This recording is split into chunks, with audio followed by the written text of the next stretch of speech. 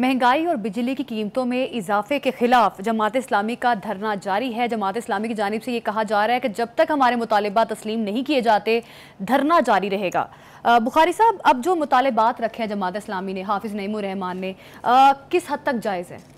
देखिए जहाँ तक मुतालबात का ताल्लुक है मेरे ख्याल से वो तो सारे जायज़ हैं। कोई दो राय इसके बारे में नहीं है। हम्म। इस वक्त जो उस धरने की कामयाबी की वजह है वो भी यही है कि वो एक तरह से अवामी जो उमंगें हैं या अवामी जो जज्बात हैं या अवामी जो मुतालबात हैं, उसका वो मज़र है इस वक्त वो धरना है और इसीलिए उसको पजीराई मिल रही है। मेरे ख्याल से हुकूमत के पास अब कोई ऑप्शन नहीं है सवाए इसके कि वो इनसे तो मुजाकर करके कोई रास्ता ढूंढे ही, मगर उसको अब आई पी पीज़ के साथ बैठ जाना चाहिए कि भाई खुदा के वास्ते। अब आप भी थोड़ी सी अला ज़रफ़ी का मुजाहरा करें आपने दस साल पहले जो इसके ऊपर इन्वेस्टमेंट की थी उससे दस गुना आप इससे कमा चुके हैं। अब खुदा के वास्ते इसको रिव्यू करने के लिए आप यानी तैयार हो जाएँ। और रिव्यू ये होना चाहिए क्योंकि अगर ये रिव्यू नहीं होगा तो हम तबाही के दहाने के ऊपर कई एतबार से हैं उसकी हम कोशिश करते हैं अपने नाजरन को वो हम बता सकें। पहली बात तो ये है आई पी पे अभी हम आप आ, बात स्टार्ट करने लगे एक छोटी सी चीज़ मैं ऐड करना चाहूँगी। 1993 में पॉलिसी बनाई पाकिस्तान ने आई पी के साथ इन्होंने पॉलिसी बनाई। ऐसी क्या मजबूरी थी उस वक्त हुकूमत की कि उन्होंने आई पी के साथ पॉलिसी बनानी पड़ी उन्हें? देखिए उस वक्त लोड शेडिंग की जो लानत है वो अपने अरूज पर थी। लोग बिलक रहे थे बाहर निकलते थे मुजाहरे करते थे। मुझे अच्छी तरह याद है कि वापडा के दफ्तरों को आग लगाई गई थी इसलिए कि इतनी शदीद 18 18 घंटे की लोड शेडिंग तो शहरों में होनी शुरू हो गई थी। गाँवों में तो दो दो दिन बिजली नहीं आती थी। ये उस वक्त का तकाजा था कि आप आई पी पीज़ को इनक्रेज करके मुल्क में बिजली की पैदावार बढ़ाएँ। लेकिन इसका ये मतलब नहीं था कि उनके पास लाइसेंस आ गया है कि वो इस कौम का अब खून का आखिरी कतरा भी निचोड़ने लग जाए। हम्म। जो मैं बात कर रहा था उसके ऊपर थोड़ा सा मेरे हाँ ख्याल से अगर हम वजाहत के साथ अपने नाजिन को बताएँ कि देखिए पहली बात तो ये है ये है कि ये जो जमात इस्लामी का धरना है ये हुकूमत के ऊपर एक तरह का प्रेशर है। I think the pressure should remain on pressure अगर पड़ेगा हुकूमत के ऊपर तो तभी वो इसके लिए कोई ना कोई रास्ता निकालेगी। लेकिन हम ये देख रहे हैं कि हुकूमती रवैया जो है जो ख़ास तौर से अवैस लगारी साहब की सूरत में हम तक पहुँचता है वो ये कह रहे हैं कि जी, जो मर्ज़ी हो जाए, हमने तो इनके साथ रीनिगोशिएट नहीं करना। यानी इतना कोरा जवाब जो है, वो इस वक्त वक्त का तकाजा नहीं है। वो बज़ाहिर दिफा करते नज़र आ रहे हैं, वो कह रहे हैं कि देखें, हमने रिकोडिक के मामले में बिट्रे किया था इंटरनेशनल कम्युनिटी को, जो इन्वेस्टर्स थे। 900 मिलियन डॉलर देना पड़ा आपको फ़ाइन के तौर पे। वो कहता है कि हम तो अफोर्ड ही नहीं कर सकते। ये बात उनकी दुरुस्त है। इस हद तक तो दुरुस्त है। हम ये नहीं कह रहे कि आप उनके साथ वो सलूक करें जो रिकोडिक के साथ किया था। हम ये कह रहे कि उनके साथ बैठ जाएँ। उन्हें ये कहें कि देखिए जो तोसी हमने की है आपके माहों में दस साल की मज़ीद आप हमें जो जुर्माना करना है वो कर लें और हमारी जान बख्श दें क्योंकि अब हम मज़ीद कैपेसिटी पेमेंट नहीं कर सकते। ये हम क्यों नहीं कर सकते? इसके ऊपर भी थोड़ी सी वजाहत जो है वो उसकी वो, वो ज़रूरी है। देखिए हम तो ऑलमोस्ट डिफ़ॉल्ट की स्टेज पर हैं। हमारी इकॉनमी काबू में नहीं आ रही है। हुकूमत बेपना कोशिशें कर रही है। तो है कि हुकूमत की कोशिशें शायद कामयाब हो जाएँ। बुखारी साहब हुकूमत पर दबाव डाल सकती है? मैं मैं, मैं देखिए दबाव नहीं डाल सकती। मैं ये नहीं कह रहा कि आप उनके खिलाफ स्टिक इस्तेमाल करें मैं ये कह रहा हूँ कि आप उनके साथ ओपन करें निगोसिएशन उनको कन्विंस करें कि ये हमारी मजबूरियाँ हैं और ये अवाम का प्रेशर है दोनों चीज़ों को। कॉम्बिनेशन ऑफ़ बोथ हमारी कंपल्शंस क्या हैं अवाम का प्रेशर क्या है। अवाम का प्रेशर और बढ़ेगा। मैं आपको बता रहा हूँ कि ये अगर मुजाकर जल्दी से किसी एक तरफ़ को नहीं लगते हैं तो ये सब कुछ आप पूरे मुल्क में देखेंगे कि लोग जो है वो बाहर निकल के मुजाहरे कर रहे होंगे। एनी anyway, मैं बा, बात कर रहा था अवैस लगारी साहब की। उन उनसे किसी ने ये नहीं कहा कि आप एकदम से इन माहों को ख़त्म कर दें क्योंकि वो सारे जो है वो इंटरनेशनल आर्बिट्रेशन में जाएँगे और पाकिस्तान को मज़ीद मुश्किल का सामना करना पड़ेगा। मुश्किल ये है कि अगर हम ये कैपेसिटी पेमेंट जारी रखते हैं तो हम बाकी के काम कैसे करेंगे? हमने डेट सर्विसिंग करनी है। और कितने बिलियन डॉलर्स हमें चाहिए अगले तीन साल में? कोई कह रहा है बाईस बिलियन डॉलर चाहिए, कोई कहता है पच्चीस बिलियन डॉलर चाहिए। वो अगर हम इस कैपेसिटी पेमेंट की नज़र करते रहेंगे अगर तो वो पैसे कहाँ से आएँगे पे करने के लिए? एक बात। दूसरी बात यह है कि मैं तो ये तो करता हूँ कि आई को इखलाकी जवाज़ जवाज़ नहीं बल्कि इखलाकी ज़रूरत का मुजाहरा करना चाहिए। और इनिशिएट करना चाहिए कि हम हुकूमत के साथ बैठने के लिए तैयार हैं। ऐसा कुछ होने जा रहा है कि नहीं होने जा रहा है वो तो मुझे नहीं लेकिन उनको खुदा का खौफ करना ज़रूर चाहिए।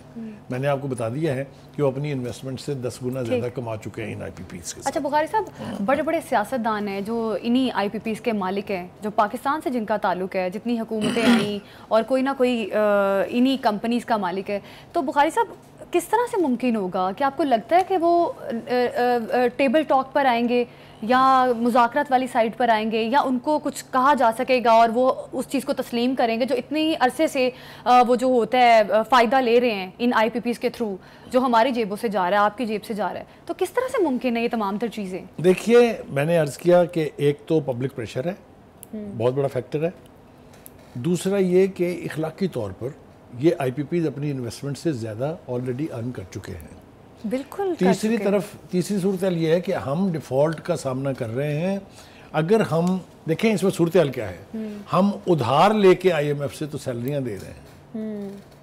सरकारी मुलाजमीन की पता है ना आपको? बिल्कुल। हमने डेट सर्विसिंग करनी में अभी उसका ज़िक्र कर रहा था कितना मैसिव अमाउंट है वो जो हमें कहीं ना कहीं से मैनेज करना है। वो हुकूमत कैसे करेगी वो उसके ऊपर लगी हुई है। एफआईसीएस जो है वो वो, वो भी कोशिशें कर रही है। हुकूमत भी इसके ऊपर मतलब है बहुत सीरियसली अमल पैरा है। देखते हैं कोई नतीजा उसका निकलता है कि नहीं तो निकलता। साहब इसका सबसे बेहतर सोल्यूशन ये नहीं है कि इनका सबसे पहले तो ऑडिट किया जा सके। पता चले कि फ्लॉ है सारे मुतालबात हो रहे हैं हम्म। और वो अवैस लगारी साहब ने कहा है कि हम तो नहीं कराएँगे जिनका ऑडिट तो कर लो जो कर लो जो करना है। हम्म। उसकी वजह है कि एक तरफ़ जब इशारा फेंका गया तो चाइनीज़ जो आई हैं वो उन्होंने कहा कि जनाब हम तो इसको रिवाइज़ करने के लिए तैयार नहीं हैं। लेकिन जो बात आप पहले कर रही थी मेरे ख्याल से उसको उसकी थोड़ी सी वजाहत हाँ, की हाँ। ज़रूरत है। देखिए दो तीन सेगमेंट्स हैं इसके आई के। 52 परसेंट तो इसका हुकूमत का शहर है। हाफिज साहब भी यही कह रहे हैं हाफज नईम रमान साहब। हाँ और मीडिया पर भी ये बात हो रही है कि खुदा के वास्ते पहले आप वहाँ से तो शुरू कर दें। कि जो गवर्नमेंट है, वो जो माल इसमें बना रही है आई के थ्रू उसको बंद कर दें। दूसरी बात वो ये कर रहे हैं कि जो बाकी के प्राइवेट सेक्टर के लोग हैं, उनके साथ आप निगोशिएट निगोशिएशन इनिशिएट करें। लेकिन आप पहले अपना होमवर्क तो कर लें, अपने जो शेयर हैं उसके अंदर, उसके ऊपर तो कुछ ना कुछ इनिशिएटिव ले लें ताकि आप इखलाकी तौर पर प्रेशराइज कर सकें जो प्राइवेट सेक्टर के लोग हैं। क्या होने जा रहा है इसके ऊपर ये अभी कहना बड़ा मुश्किल है लेकिन मुझे लगता ये है कि इस बैती गंगा में अब पीटीआई ने भी हाथ धोने का फैसला कर लिया है क्योंकि शिबली फराज साहब हमें कह रहे हैं कि जो वो पीटीआई में पीटीआई जो है वो इस जमात इस्लामी के धरने का हिस्सा बन जाएगी। और अभी फैसला तो नहीं किया उन्होंने लेकिन उन्होंने इशारा दे दिया है कि पार्टी जो है वो बहुत जल्द फैसला तो करेगी। साहब क्या लगता है आपको मैं इसके ख़िलाफ़ नहीं हूँ इसलिए कि हुकूमत से एक ऐसे काम की तो रखना या एक ऐसे काम के लिए उसे मजबूर करना जिससे अवामनास का फ़ायदा हो उसके मैं ख़िलाफ़ नहीं हूँ। ऐसे लग रहा है कि हुकूमत और आई पी पीज़ एक तरफ़ खड़ी हैं और पूरी कौम जो है वो दूसरी तरफ़ खड़ी हुई है। तो it is between the government I P Ps government plus I P Ps and people of Pakistan it's a bad deal ये नहीं खेलना चाहिए। hmm. इससे पहले कि कोई और सूरत हाल यानी बदसूरती की तरफ़ जाए हकूमत को चाहिए कि वो होश के नाखुन ले और यानी इस जमात का जो धरना है इसको जवाब बना के आई पी पीज़ पर प्रेशर बढ़ाए और उनसे कहे कि आप रीनिगोशिएट करें इनको हमसे पैसे ले लें हमसे जो जुर्माना लेना है वो ले लें हम्म। लेकिन ये कि आप इन माहों को ख़त्म कर दें इसके अलावा कोई चारा नहीं है वरना हम इधर से तो मारे जा ही रहे हैं कि अवाम की तरफ़ से अब गैसो गज़ब का इजहार किया जा रहा है। हम इंटरनेशनल कमिटमेंट भी अपनी पूरी नहीं कर पाएँगे अगर हम ये कैपेसिटी पेमेंट करते रहेंगे तो हमें जो वो शर्मिंदगी उठानी पड़ेगी या वो जो नुकसान होगा आप मुझे फिर बताइए आईएमएफ कैसे आपके ऊपर ट्रस्ट करेगा? कैसे आपके वो दोस्त ममालिक आपकी मदद को आएँगे? अगर आप अपना होमवर्क भी मीशत है उसका बहुत बड़ा हिस्सा जो है इन्हीं आईपीपीस पे मुश्तमिल है और चार पावर प्लांट्स हैं जो कि बिजली पैदा किए बगैर उनको महाना दिया जाता है। फिर पाकिस्तान के इस तरह से छोटे छोटे हिस्से जो हैं एक तरह से बेचे जा रहे हैं। पचास अरब में एक बिजली घर लगा और चार सौ अरब में उसे बेच दिया। तो ये तमाम तर चीज़ें जो हैं, बड़ी अलार्मिंग है पाकिस्तान की मीशत के लिए।